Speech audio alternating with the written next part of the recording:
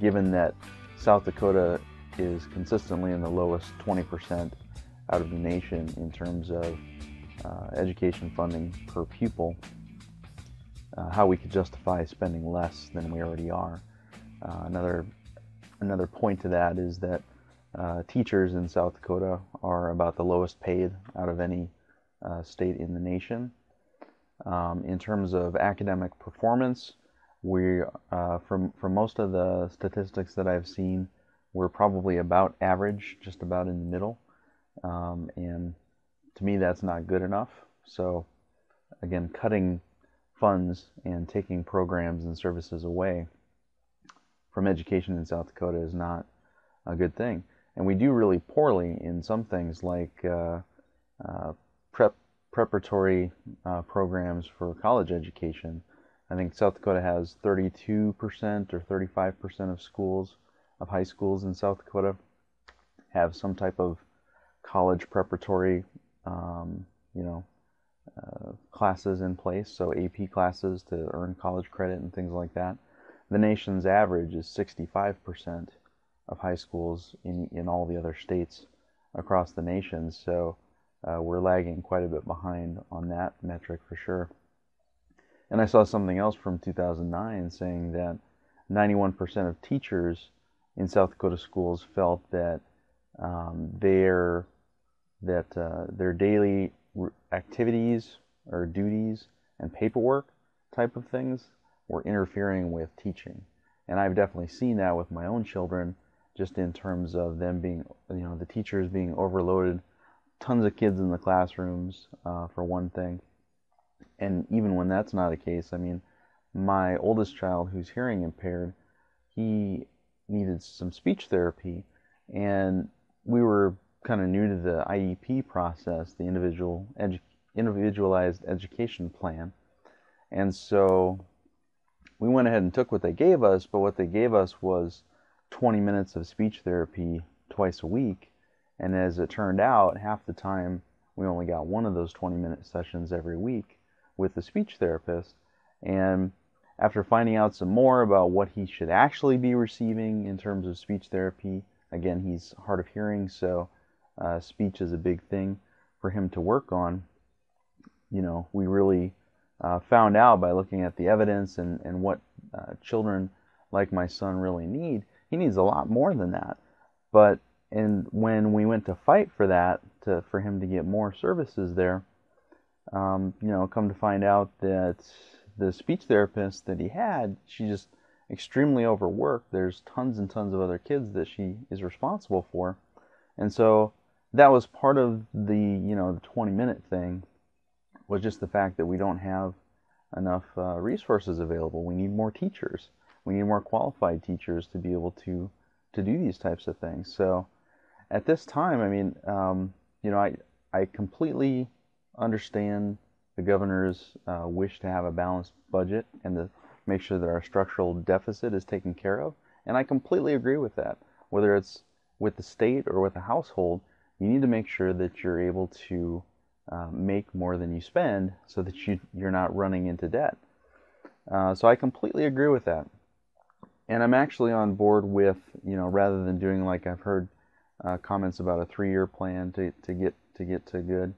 And I actually like the fact, you know, the the approach of let's let's you know fix this structural deficit in short order. But what I don't like is the fact that they're going after some of these uh, programs like education and healthcare, medical care for our children.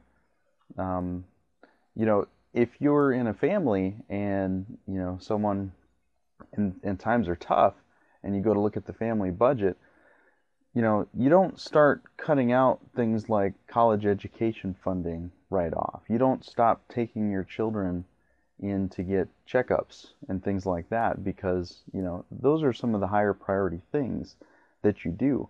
What you do is you take a look at the things that are lower priority that are more discretionary type spending and you start cutting those.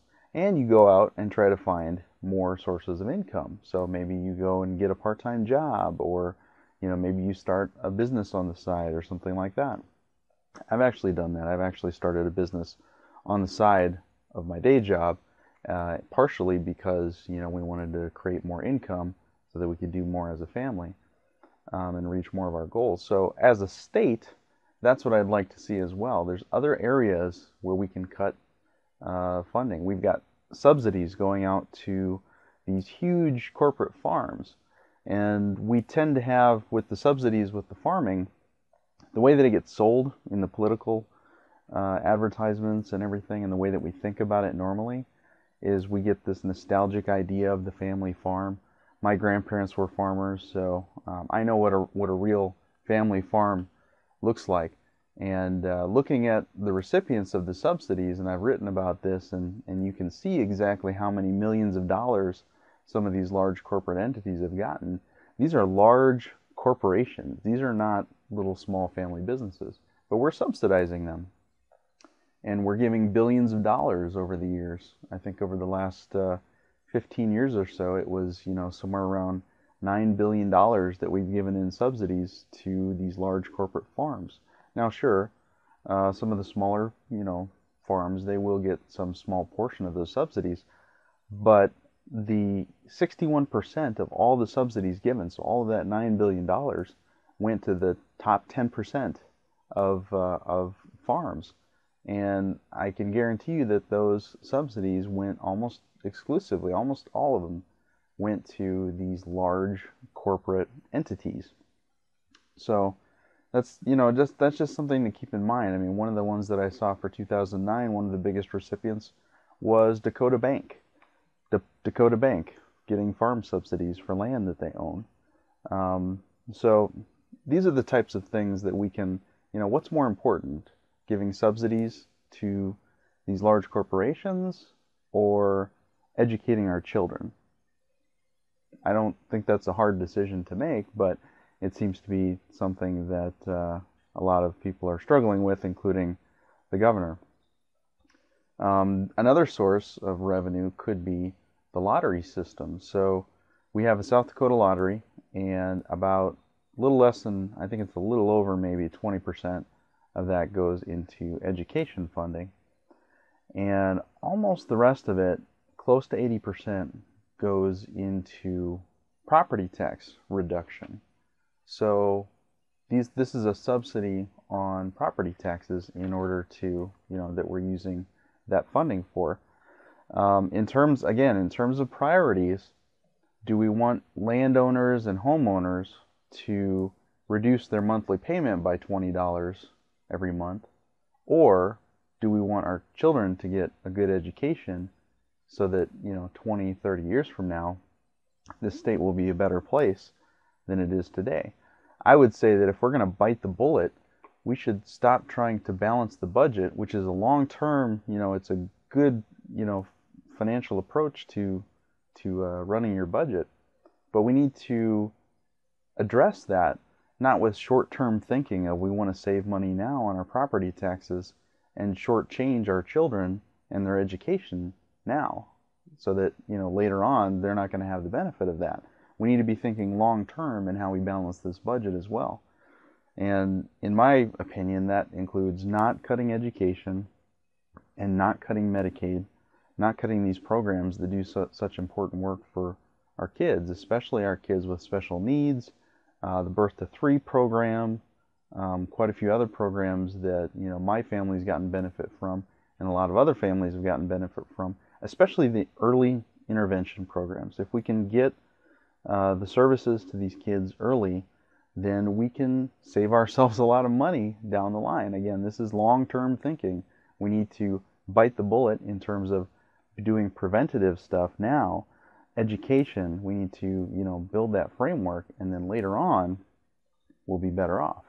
So, uh, I especially was in terms of the, the governor and his um, his statements around the budget he, you know, the, the thing that he came out with was that he vows to not raise taxes. Um, and that's always been a little bit perplexing to me because if you vow, if you come into the conversation saying that you vow to do this, that means that that's your top priority. So, above anything else, above the education of our children, above the medical care of our children, um, above anything else, he vows to not raise taxes. So I think he's got his priorities mixed up. Um, you know, we don't like to raise taxes, or, you know, I don't like to pay taxes, but taxes are necessary because there's a lot of things that are public goods and you run into the tragedy of the commons if you try to leave it to individuals to be able to pay for it themselves. Um, and so there's a lot of efficiencies too when you get together as a group. I mean, that's why we have public education because that's really, for the most part, that's the best way to do it and the best way to approach it. But then when you do that, you have to have leaders who have the vision to be able to get beyond the whole, you know, uh, people not wanting to do that because they don't want their their mortgage payments to go up by 20 bucks a month. Um, you need to be able to, to think beyond that and really think about what we're doing as a state. Uh, not today, not tomorrow, but all of that time, you know, 20, 30 years from now, everything. And what are we doing now that's going to impact those things? I mean, it's it's strange because there's a mixture of short-term and long-term thinking in the same sentence, even coming out of uh, the governor's mouth, and uh, it's really vexing to me because it seems really focused on getting the budget fixed now. So let's do it this year. Let's get it fixed. Let's not wait three years. You know, let's think about this long term. We don't want to keep keep uh, kicking that can down the road and take care of it later and take care of it later and take care of it later. And I completely agree with that. Let's take care of it now. But let's also do it in such a way so that we're not sacrificing the, the long term futures of our children in order for some short term gains.